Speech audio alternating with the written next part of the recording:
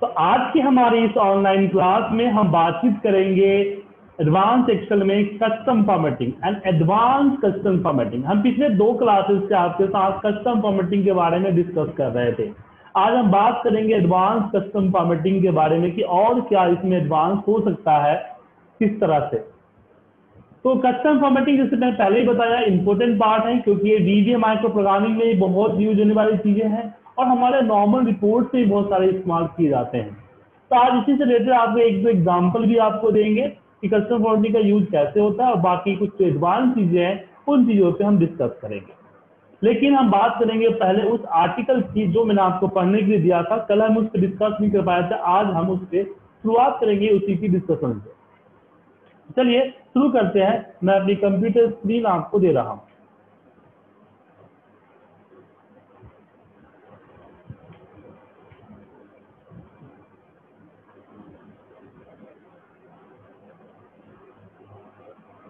और सबसे पहले हम बात करते हैं उस आर्टिकल की, जो कि मैंने आपको प्रोवाइड की थी। तो चलिए उसी आर्टिकल के बारे में हम डिस्कस करते हैं। सबसे पहले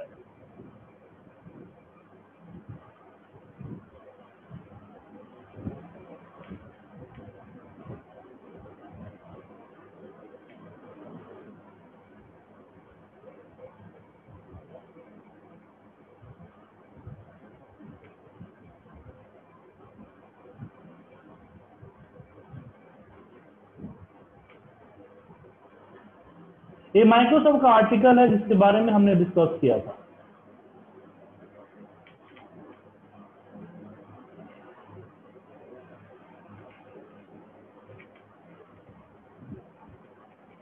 तो जैसे कि आपने पिछले दो क्लासेस में देखा कि कस्टम फॉर्मेटिंग का यूज़ हम लोग अपने नंबर को अपने हिसाब से फॉर्मेट करने में करते हैं। और उसमें और क्या नया हो सकता है, ये आज हम इसके बारे बारे में बात करेंगे। आज का क्लास थोड़ा सा ट्रिकी होगा तो प्लीज़ लास्ट तक ध्यान से देखेंगे। ऐसा नहीं बीच में आप व्हाट्सएप लेके सेटिंग करना शुरू कर दीजिए। ठीक है?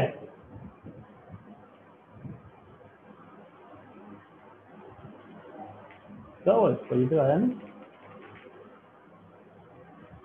हाँ आ गया। तो सबसे पहला यहाँ आपका जो आर्टिकल में दिखाता है पॉजिटिव निगेटिव एंड ज़ीरो पहले इसको हम समझते हैं कि क्या है। कल की क्लास में हमने आपको बताया था कि हम 1500 के आगे और पीछे हम एमआरपी लगा देते हैं तो दिखता है। हमने उसके लिए बताया था कि वहाँ पे हम डैश और सॉरी हैश और ज़ीरो का यूज़ हम क्यों करते हैं। तो उसमें एक जो इम्पोर्टेंट टॉपिक है कि ये पॉजिटिव नेगेटिव ज़ीरो और टेक्स्ट क्या होता है। एक क्या बता रखा है इसमें? हालाँकि आपने आर्टिकल पढ़ा होगा तो लेकिन फिर भी इसका जो प्रैक्टिकली यूज़ है, इसको एक्सप्लेन कर देता हूँ मैं आपको कस्टम फॉर्मेटिंग में। सिंपल सी बात समझ जाइए कि मैंने यहाँ पे अमाउंट 1500 लिख दिया राइट और इसके ऊपर हमने क्या किया? कस्टम में गए।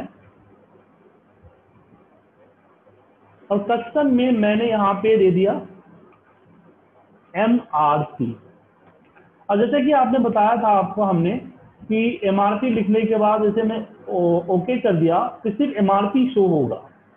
लेकिन अगर माइनस फिफ्टीन हंड्रेड होगा, फिर भी minus M R P show होगा। तो बेसिकली यहाँ पे हम जब हैश और ज़ीरो लगा देते हैं तो फिर हम अमाउंट भी दिखता है। तो फ़िलहाल हम हैश और ज़ीरो को छोड़ देते हैं। अब जैसे मैं चाहता हूँ कि एम आर पी यहाँ पे एक सिंपल सा कंसेप्ट करना चाहता हूँ कि अगर माइनस में आ रहे तो यहाँ पे एमआरपी नहीं, यहाँ पे डिस्काउंट शो हो। ठीक है? ज़ीरो आए तो रिप्लेस तो हो। मैंने पॉजिटिव नंबर आता है तो एमआरपी शो होना चाहिए निगेटिव नंबर आता है तो डिस्काउंट शो होना चाहिए, अगर ज़ीरो आता है तो शो होना चाहिए। रिप्लेस तो कैसे करें इसके लिए? तो यहाँ देखिए, आप जैसे आप आर्टिकल में देख रहे हैं कि ये दोनों के बीच में जो है सेमी कॉलन सेपरेटर होता है। तो पहला पोजीशन पहला जो पोजीशन होता है, वो होता है पॉजिटिव नंबर का। सेकंड पोजीशन होता है नेगेटिव नंबर का थर्ड ज़ीरो का एंड फोर्थ टेक्स्ट का। तो एक ये बताया गया है कि पहला पोजीशन पॉजिटिव का हो गया। अगर हमने सेमी कॉलन लगा के यहाँ पे डिस्काउंट दे दिया तो दूसरा दूसरा पोजीशन किसका हो गया? नेगेटिव का, देखिए। मैं अगर पॉजिटिव में नंबर लिखूँगा तो यहाँ पे एमआरपी शो करेगा। नेगेटिव में नंबर लिखूँगा तो यहाँ पे डिस्काउंट शो करेगा। क्योंकि हमने सेकेंड पोजिशन यहाँ डाल दिया। अगर हम सेमी कोलन डाल देते हैं और फिर यहाँ पे लिखते हैं रिप्लेस तो आप देखेंगे, अगर ज़ीरो लिखेंगे तो ये रिप्लेस हो जाएगा। ओके और अगर टैक्स है अमाउंट है तो जैसे कि मान लीजिए किसी किसी तरह का टैक्स आ गया तो मैं चाहता हूँ यहाँ पे डेटा नॉट फॉन्ड दिखे। डेटा नॉट फॉन्ड अब मैं यहाँ पे कोई भी टेक्स्ट लिख दूँगा तो उसमें डेटा नॉट फॉन्ड दिखेगा। ये तो सही है, लेकिन इसका बेनिफिट क्या है? मतलब कहाँ इसकी यूटिलाइज करेंगे? चलिए इसके बारे में हम डिस्कस करते हैं आपके साथ। तो इसमें क्या है? जैसे मान लीजिए कि मेरे पास यहाँ पे दिया हुआ है प्रॉफिट एंड लॉस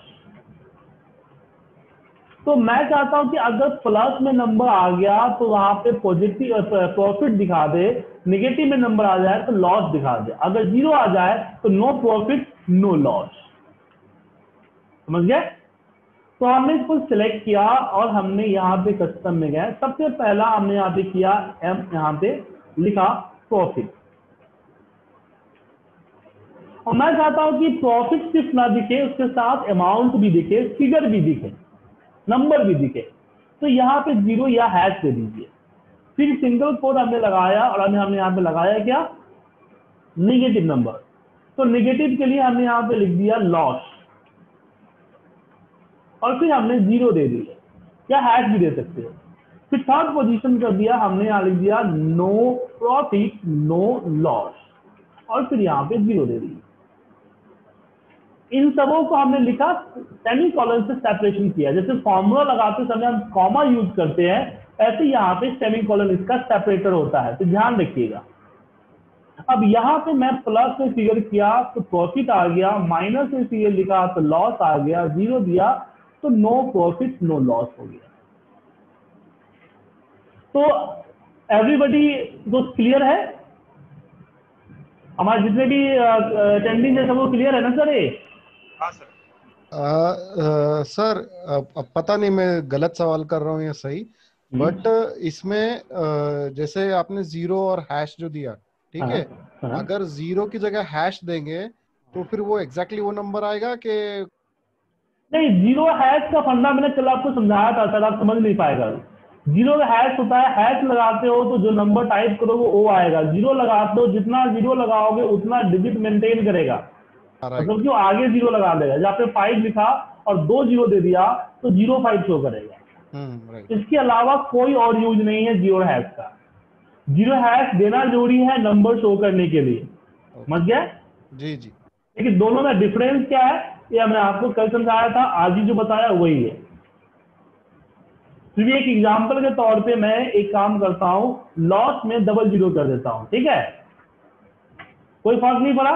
फ़र्क कब पड़ेगा? जब यहाँ पे माइनस फाइव लिखूँगा तो यहाँ पे ज़ीरो फाइव आ गया। बट माइनस का सिंबल नहीं आया सर क्यों नहीं आया? क्योंकि हमने यहाँ माइनस का सिंबल लगाया ही नहीं है। तो यहाँ माइनस का सिंबल आपको लगाना होगा। नहीं माइनस से सिंबल हमने अंदर अंडरस्टोर कर दिया, माफ़ कीजिएगा यहाँ आपको माइनस का सिंबल देना पड़ेगा, तब जाके माइनस आएगा। ओके तो आर्टिकल में ये थी, अब यहाँ पे देखिए, यहाँ पे बड़ी ब्रैकेट में ब्लू दिया हुआ है, यहाँ रेड दिया हुआ है। मतलब ये आप जो है कलर भी उसी कंडीशन हिसाब से कर सकते हो। जैसे मैं चाहता हूँ कि नेगेटिव को रेड कर दे पॉजिटिव को ग्रीन कर दे। तो हम इसको प्रॉफिट से पहले स्क्वायर ब्रैकेट में हम यहाँ पे लिखते हैं ग्रीन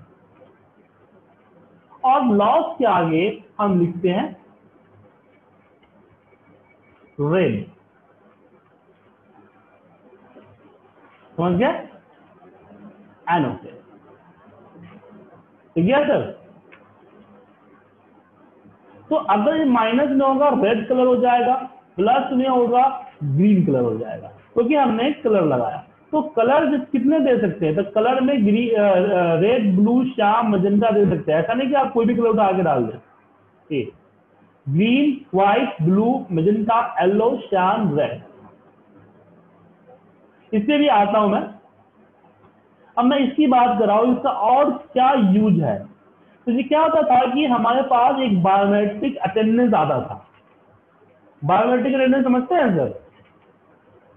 आप ऑफ़िस में जाते हैं तो ऑफ़िस में एक्सेस कार्ड पंच करते होंगे? हाँ जी सर बायोमेट्रिक पूरा फिंगर फिंगर से। फिंगर भी होता है और बहुत सारी कंपनी फिंगर नहीं एक्सेस कार्ड देती है ना आई कार्ड की तरह आई कार्ड के पीछे लगा होता है। क्या सर? जी सर। एक तो हुआ जब आपका अटेंडेंस मार्क करना हुआ तो तो उसका अटेंडेंस लग गया तो तो मन में आता है। एक होता है जिससे हमारा डोर ओपन होता है। जो डोर होता है हमारा और डोर ओपन होता है ऑफ़िस का। होता है ना सर? राइट जो बहुत सारे कंपनी जो फिंगरप्रिंट इसमें फिंगरप्रिंट के लिए नहीं दे रखा है तो वो लोग एक्सेस कार्ड का डेटा लेते हैं। वो देखते हैं किसका एक्सेस कार्ड पंच हुआ है पूरे महीने में दिन में। जिसका एक्सेस कार्ड पंच नहीं हुआ है वो इसमें वो उस दिन अब्सेंट था। या फिर अब थम ही यूज़ करते हैं तो क्या होता है कि थम बहुत सारे लोग दो तीन बार लगा देते हैं ना। या थम से ही दरवाज़ा खुलता है। हालाँकि हमारे जमाने में तो थम स्कैनर नहीं था ना सर बस फ़िल्मों में देखते थे हम वे थम लगाने पे दूर खुलता था। हॉलीवुड फ़िल्मों में वो भी। बॉलीवुड में तो आता नहीं था सर क्योंकि उसके पास का बजट ही नहीं था। ठीक है? तो यहाँ हमारे पास एक अटेंडेंस हालाँकि रियल लाइफ का डेटा है तो हमें क्या होता था कि हम एडमिन में हमें काम करते थे तो हमें इसको अटेंडेंस में बना के भेजना होता था। तो हमारा डेटा जाता था कि किसने कितना बार कार्ड किस डेट को पंच किया है। जिसने ज़ीरो किया, जैसे इसने जी, पूजा ने एक अगस्त को ज़ीरो किया इट मीन इस दिन वो अब्सेंट थे। और बाकी जो नंबर है इट मीन वो प्रेजेंट है तो मुझे यहाँ पे जो पी जो, मुझे यहाँ पे जो नंबर्स है पॉजिटिव में, उसको पी पी शो करना है। और जहाँ पॉजिटिव यहाँ पे नेगेटिव है सॉरी नेगेटिव है, इसमें ज़ीरो है, ज़ीरो को अब्सेंट शो करना है। और हमें इसकी प्रिंट आउट निकाल के भेजनी होती थी रिपोर्ट ही भेजना होता था। तो हम क्या करते थे? राइट क्लिक करते थे और यहाँ फॉर्मेट सेल पे जाते थे। कस्टम और यहाँ से हम कर देते पी एक सेमी कॉलम देते थे। फिर दूसरा सेमी कॉलम देते थे बीच में नहीं डालते क्योंकि निगेटिव को स्किप करना है हमें। बीच में हम फिगर नहीं देते थे, क्योंकि हमें निगेटिव को स्किप करना होता है। और यहाँ पे एक। आ गया? देन ओके समझ गए सर?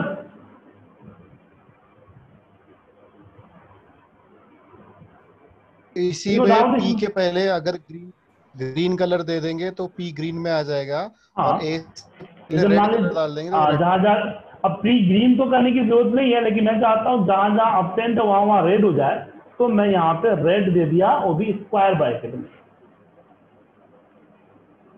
ओके चलिए। समझ में आ गया आप लोगों को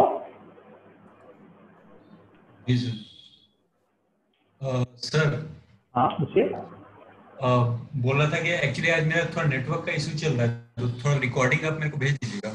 जी ज़रूर ज़रूर। तो एक चीज़ हमने समझ की बाकी जो इसमें सिंबल दिख रहे हैं इसको विदाउट इन्वर्टेड कॉमा डाल सकते हैं।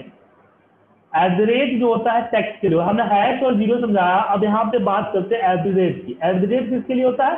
टेक्स्ट के लिए होता है। जैसे मान लीजिए मुझे यहाँ पे कंपनी का नेम लिखना है तो मुझे क्या करना पड़ता है? एम स्लैश एस करके लिखना पड़ता है। हम चाहते हैं कि एम स्लैश एस अपने आप आ जाए, क्योंकि फिर उसके लिए स्लैश देना पड़ता है। थोड़ा सा टाइपिंग में इरिटेशन होती है। तो हमने क्या किया? उसको सेलेक्ट किया कस्टम में गए और यहाँ हमने एम स्लैश एस किया और फिर एट कर दिया। इससे क्या होगा? जब भी हम कोई नाम लिखेंगे उसके आमने सामने जो है एम प्लस एस ऑटोमेटिकली आ जाएगा। आ गया?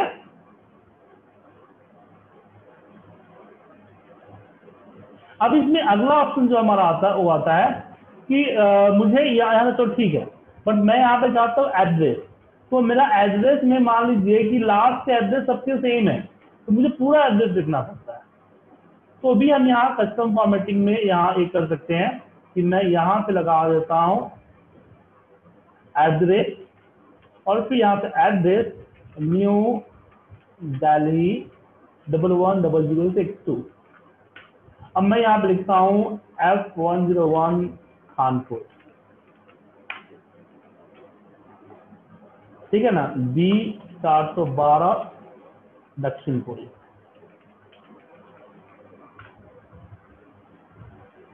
ठीक है सर? और मैंने अपने एक ऑफिशियल लाइफ में मैंने एक चेक प्रिंट करने के लिए बनाया था। क्या हुआ था कि हमारा जो बैंक के साथ जो ये था टाइयर था, वो खत्म हो गया था। तो हमें सैलरी चेक से देनी थी। तो इतने सारे जो चेक प्रिंट करना, पंद्रह सोलह से एम्प्लॉय का चेक प्रिंट करना थोड़ा सा मुश्किल था। तो हमने क्या किया क्योंकि हमारे पास चेक प्रिंट करने वाला कोई सॉफ्टवेयर भी नहीं था, उसकी सेटिंग नहीं थी तो हमने क्या किया चेक प्रिंट करने का एक फॉर्मेट एक्सेल में तैयार कर लिया, जो चेक लगाने को प्रिंट करता जैसे लिफाफा प्रिंट होता है, ऐसे चेक को प्रिंट करता तो उसमें एक छोटी सी प्रॉब्लम थी अमाउंट का। तो हमारे बॉस ने बोला कि भाई अमाउंट जितना भी हम टाइप करेंगे और इसमें स्पेस काफ़ी रह रहा है तो उसके, जितना स्पेस रह रहा है उस पर स्टार लग जाना चाहिए। तो क्या हुआ कि 5000 में यहाँ पे टाइप किया। तो इसके लिए हमने क्या किया? इसके लिए सिंपल हमने डेट में नेक्स्ट में कस्टम में हमने क्या किया? एट द रेट और एट द रेट के बाद हमने स्टार और एक और स्टार लगा दिया देखिए लास्ट वाला स्टार अब डैश चाहते हैं, ये डाल दीजिए। अगर मान लीजिए स्टार नहीं चाहते अब हैश चाहते हैं तो यहाँ पे आप हैश लगा दीजिए। ठीक है? तो जो करेक्टर चाहते हैं, वो करेक्टर लास्ट में लगा सकते हैं। जिसका यूज़ यही पे नहीं हुआ था, इसका यूज़ हमने एक और यूज़ किया था, वो किया था फॉर्म पे। मैं आपको दिखाना चाहूँगा।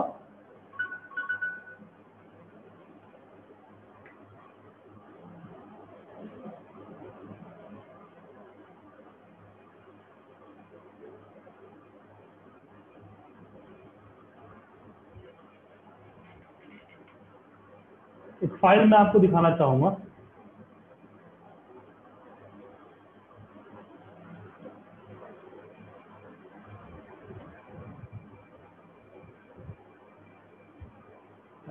और तो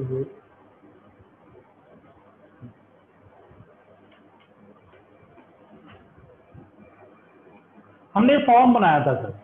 तो फॉर्म में क्या था कि यहाँ पे हम, यहाँ अभी पासवर्ड दिख रहा है। अगर मैं यहाँ पे कोई डालता हूँ पासवर्ड तो पासवर्ड भी हमने यहाँ पे मान लीजिए पासवर्ड डाल दिया वन टू थ्री अब एंटर मारने के बाद वो पासवर्ड पासवर्ड नहीं रहेगा वो स्टार में बदल जाएगा। दिख रहा है सर हेलो सर ये कैसे हुआ? तो एक्चुअली पासवर्ड है इसमें बट विजुअल नहीं हो रहा है। तो इसको अगर आप जाके देखेंगे कस्टम फॉर्मेट में तो हमने कुछ नहीं किया हुआ, बस दो स्टार डाल दिए बस टू टाइम स्टार डाल दिया, जो भी नंबर डालेंगे, वो ऑटोमेटिकली स्टार में कन्वर्ट हो जाएगा। समझ गए?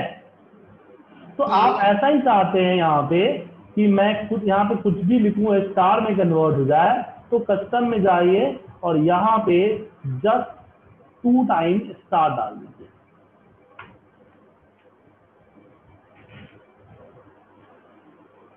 तो एक्चुअल में वैल्यू रहेगी बट उसमें डिस्टो नहीं होगा।